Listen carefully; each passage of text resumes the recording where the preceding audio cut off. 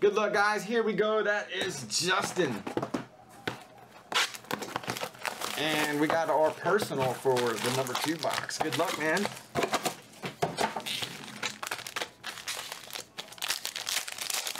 Looking for the good good. Here we go.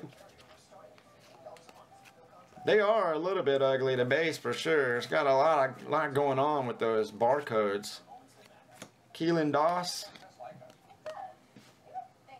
Alright, gonna do the usual contender joint. We're looking for the big pools, guys. The cracked ice.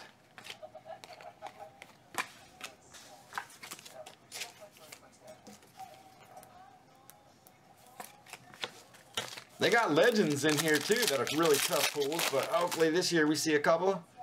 Did I pull the Marino out of last year's for Miller? I can't remember. Did I get you that cracked ice? What was that out of? What that cracked ice?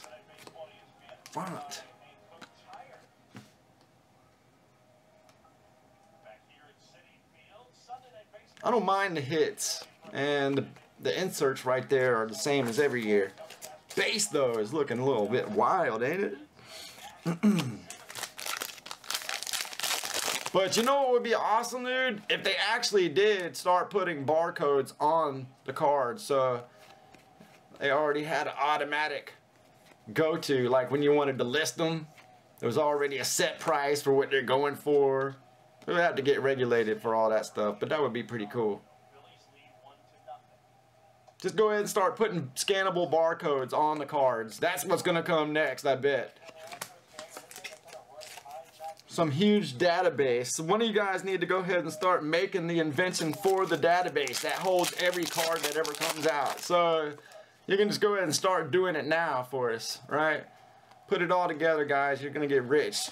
I'm sure there's probably somebody actually working on that. Alright, Travis. We got two more packs.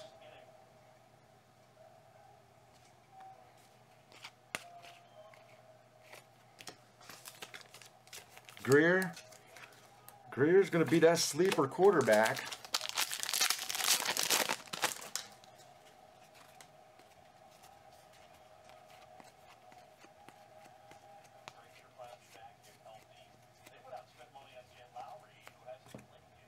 Taylor Rapp.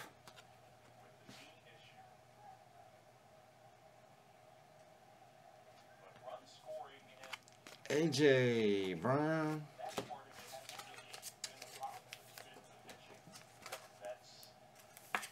Oh yeah, dude, how sweet is that? Those are so tough, dude. We're always talking about it, Avery Miller, how tough it is to pull a legend out of these. And we actually pulled the Marino cracked ice version. That's sick.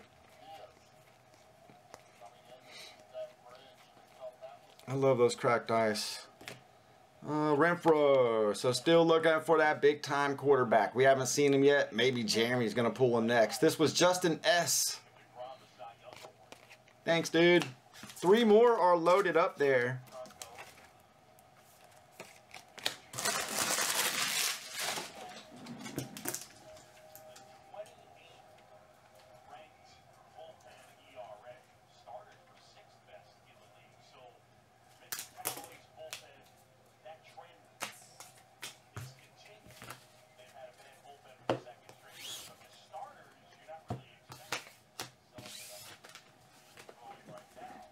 Things might actually go up a little bit. Right now, for letter breaks, they're $11.99. Once I get my teams out, I'll be able to uh, move it to either randoms, 16 spots instead of 12, which will lower down the price a little bit, or